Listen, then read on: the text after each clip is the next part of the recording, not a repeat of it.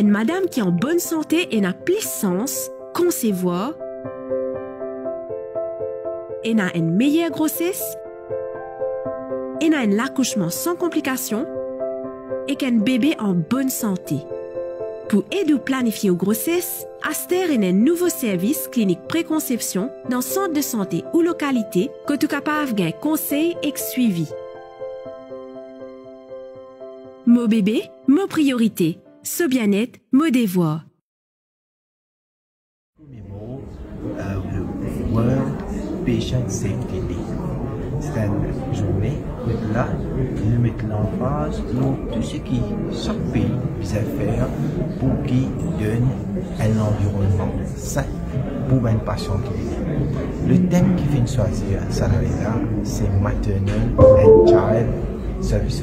Veut dire nous devons les concentrer, donner un meilleur soin à madame enceinte qui vient de l'hôpital et aussi à un petit bébé qui vient. Dans cette optique-là, à Maurice, nous nous lance et livrer le Preconception Care.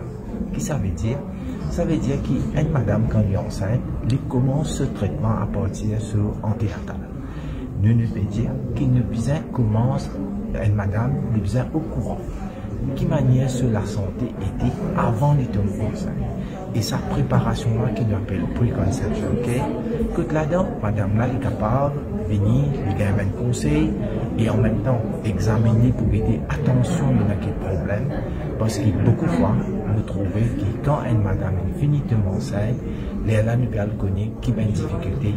Par exemple, si une madame avant de est anémie, nous préférons finir comme ça et là, finir courir sur anémie et puis tomber enceinte. Comme ça même, il permet d'évaluer les conditions. Parce qu'il nous connaît que la santé une madame pendant son grossesse, comment il est important pour le développement de ce petit bébé. Et dans ça contexte-là même, qui nous lance sa clinique qui appelle Preconception Care, qui une madame avant d'être enceinte, elle est capable de venir là-bas, elle gagne toute les information qui besoin, si besoin faire un test avec lui, nous finissons faire test, comme ça, les plans se grossesse d'une façon bien efficace. En même temps, nous dit nous faire encore une lancement. Un clinical guidelines no blood transfusion. Ça veut dire qu'aujourd'hui, vous connaissez, il y a beaucoup de conditions, beaucoup de maladies, que un dimon bizarre de Nidissan.